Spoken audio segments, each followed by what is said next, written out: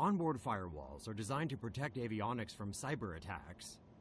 But they can become vulnerable if the in-flight entertainment system and flight control use the same routers.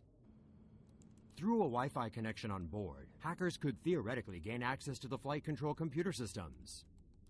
Computer systems on aircraft could also be compromised if passengers unknowingly visit websites infected with viruses or malware.